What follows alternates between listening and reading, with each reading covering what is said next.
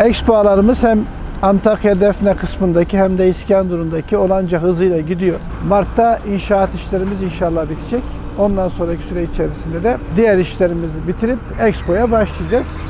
İskenderun'da biraz daha ilerideyiz. Muhtemelen Şubat ayında teslim edeceklerdir bize. Tabii ki bu e, geçtiğimiz yıl gitsin ve bir daha gelmesin dediğimiz yıl ve dünyanın e, bu pandemiyle kavrulduğu ve birçok canın kaybedildiği bir yıl oldu.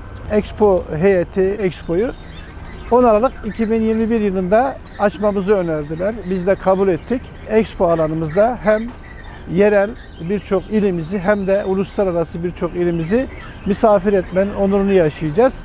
Bununla birlikte Hatay'ın e, bütün değerlerini e, burada konuşlandırdık. Arsu'da yaptığımız yerde konuşlandırdık.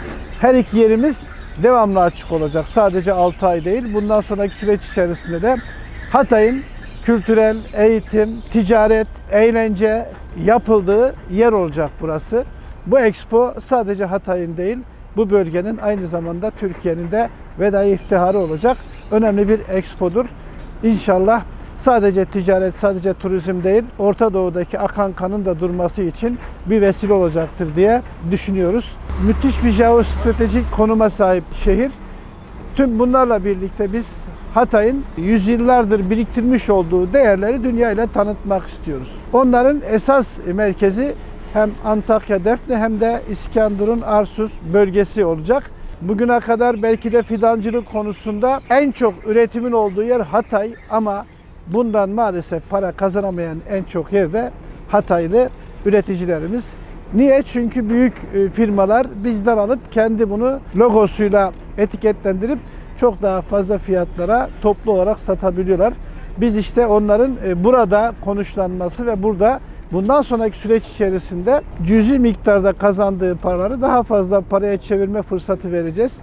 Kırsal kalkınma planı yaptık. Bu kırsal kalkınma planı çerçevesinde Hatay'ın çiçekleri, Hatay'ın tıbbi aromatik bitkileri, Hatay'ın narenciyesi, Hatay'ın sebzeleri, Hatay'ın hububatı ve Hatay'ın endüstriyle buluşabilecek birçok değerini burada pazarlama ve dünyaya tanıtma şansımız olacak.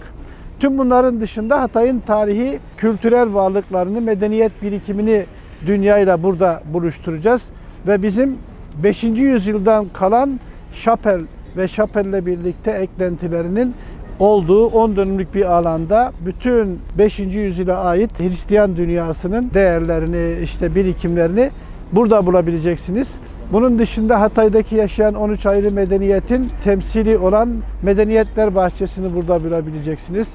Çok güzel Antakya Defne'de 5000 kişilik, Arsuz İskenderun kısmında 10 bin kişilik amfi tiyatro yerimiz olacak. Çok güzel burada eğlenceler yapacağız.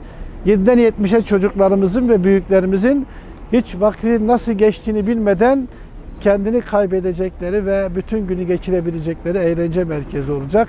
Kültürel yerlerimiz olacak. Aynı zamanda burada Hatay'da, Defne'de Hatay'ın yemeklerini tasvir ettiğimiz ve sunduğumuz güzel lokantalarımız olacak. Diğer tarafta İskenderun Arsus kısmında dünyada nam salmış ve UNESCO tarafından tescillenmiş yemek olan şehirleri ağırlayacağız. Onların bahçeleri olacak. Velhasır Hatay'a gelen doya doya Hatay yaşamış olacak. Doya doya Hatay yaşarken de Hatay'ın güzelliklerini, Hatay'ın birikimlerini görmüş olacaklar. Biz de bunu fırsata çevirip Hatay'ımızı, ülkemizi tanıtacağız. Şimdiden hemşehrilerimize ve Türkiye'mize hayırlı olsun.